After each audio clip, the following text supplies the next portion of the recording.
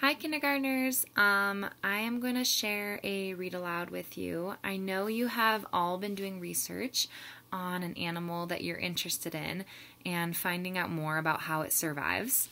Um, so I picked an animal that I thought was super cool.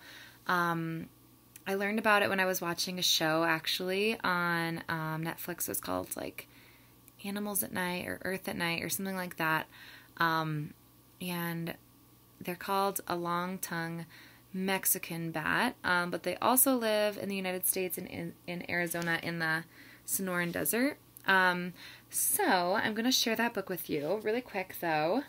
Um, our learning target, or what I want you to think about um, what, while I'm reading today, um, is I can find out details about what an animal needs to survive. Um, and then I drew like a magnifying glass looking at a book, finding out more.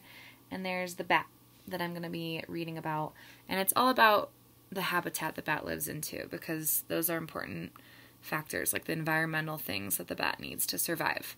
Um, okay, so I'm going to start with that book, and you can think about um, what what questions you might have or what you learned um, or what questions you might have about your animal, thinking about what I share. Okay, I'm to get started because it's kind of a long book.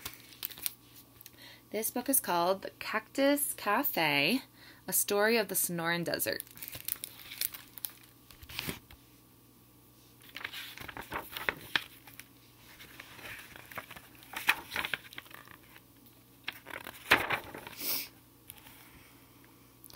Not a drop of rain has fallen for months. The afternoon sun hammers the dry soil making the air above it shimmer. On a rocky hillside, the saguaro cactuses stand like soldiers with their arms upraised. One great saguaro towers above the others, higher than a two story house. This giant has been growing for almost 200 years.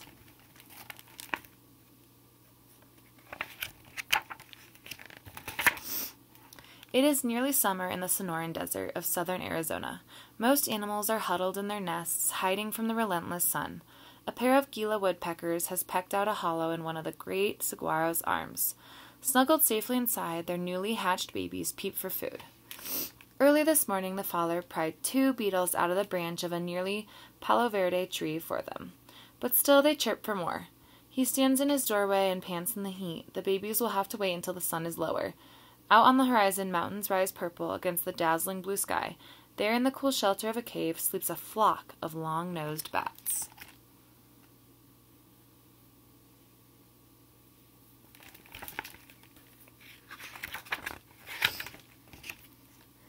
Tuck in a nest woven between the trunk and two prickly arms of the giant saguaro, a great horned owl and her chicks sleep, too. Like the bats and most other desert animals, the owls sleep by day and searches for food by night. But in the drought, food has become scarce, water is nowhere. Many plants have dried up. Some of the smaller animals that eat the plants have become weak and sickly. They are waiting, waiting for the saguaros to bear their juicy red fruit.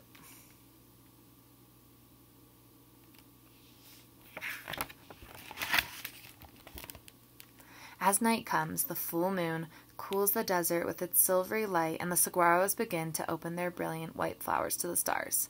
In the cave, the bats stretch their wings. They fly out over the dark land. The sparse yellow leaves of creosote bushes glisten in the moonlight below. Just to the north, the bone dry bean fields of the native Tohono O'odham, the desert people, lie empty.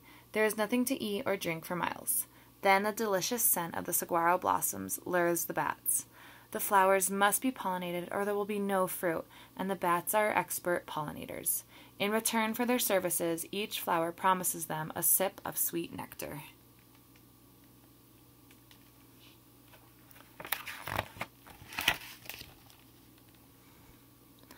The bats spot the giant saguaro first. As they glide closer, their sensitive ears pick up a faint rustle. The great horned owl is also awake and on the prowl. The bats are nervous, and they veer off toward a smaller saguaro, a 60 year old, flowering this year for the first time.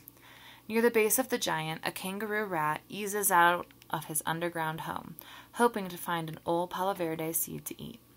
Nearby, a kit fox slinks between the bur sage bushes. Listening, a rat sized meal would help fill the, out the fox's bony ribs. But the owl has the same idea. The kit fox cowers as the owl swoops. The frightened kangaroo rat leaps once, twice, and ducks back into his burrow.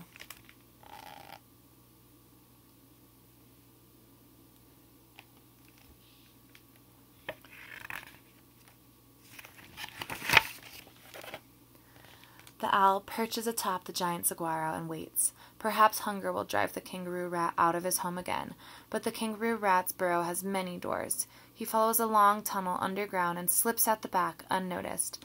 Finally, the owl sees a small gopher snake winding over the soil. The owl dives and hooks it into her talons.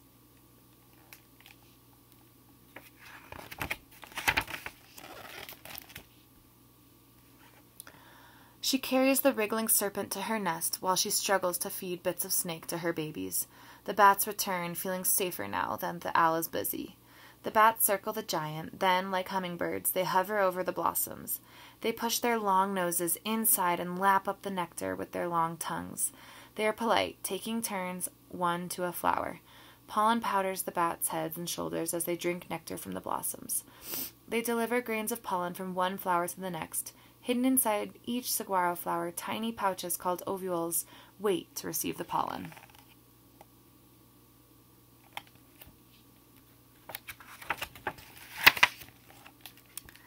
The bats drink until their bellies stick out, round as ping pong balls. Stuffed, they hang by their toes from the branches of the palo verde tree. They comb their fur with their toe claws and eat the leftover pollen. As the bats lick their wings clean for the night, a noisy group of javelinas snuffles around the giant saguaro, nipping off cactus seedlings and munching them down, spines and all.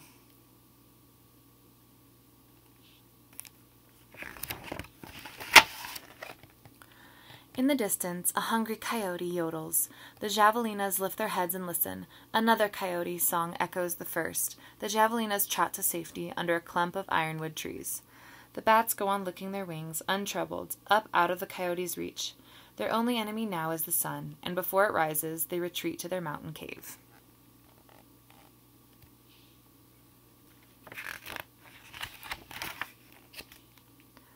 Then, as the bats hang from their cave walls and drowse, as snakes and kangaroo rats, owls, and javelinas return to their shady homes for the day, the saguaro flowers start to close. Deep inside the flowers, the minute pollen grains inch down tiny tubes toward the ovules, where a grain of pollen from one flower unites with the ovule of another and a saguaro seed forms. Around the seeds, the green oval fruits begin to grow.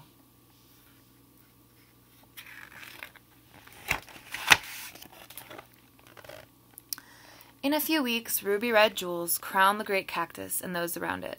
The saguaro fruits have ripened. At last, the time has come to feast. The Gila woodpeckers tear off pieces of juicy red fruit and return triumphantly to their hungry chicks. White winged doves and curved billed thrashers perch on the saguaro arms and dip their beaks into the moist, melony fruit. In the shade of the giant, a Tohono O'odham family sets up camp. For many days they share in the harvest, using long saguaro rib poles to reach the tops of the highest cactuses.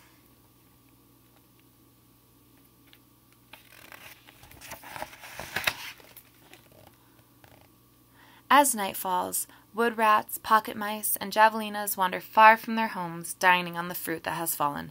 Owls, kit foxes, and coyotes stalk them silently, enjoying better hunting, and the saguaro fruit for dessert. While the animals savor their long awaited feast, the bats return to circle the giant saguaros. They dip down and taste the fruit briefly, but now the stiletto leafed agave bushes lure them away. The agave stalks have shot up high and are covered with white blossoms. The bats dive for agave nectar. Their work of pollinating the majestic saguaros is done. The desert is alive and bursting with sweet red fruit.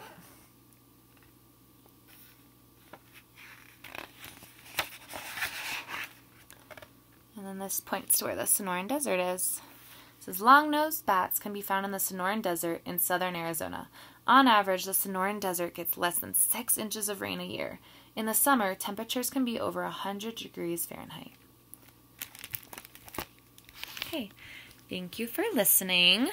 Um, so, Miss Schroeder and Miss Fletcher sent me a graphic organizer to help you plan um, and organize your research you found. Um, so I um, started my own research for um, the long nosed bats. I think I called them long tongued bats earlier. So sorry, they're long nosed bats.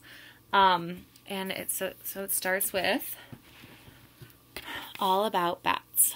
Um, and then for their appearance, I put brown, small, they have wings, they have a long tongue, not pointy nose.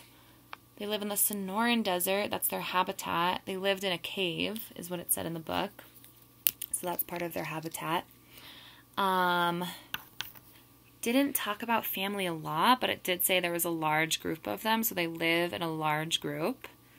Um, and their diet was they ate nectar from the saguaro cactus, and then it also at the end said they eat nectar from agave trees too. So agave nectar.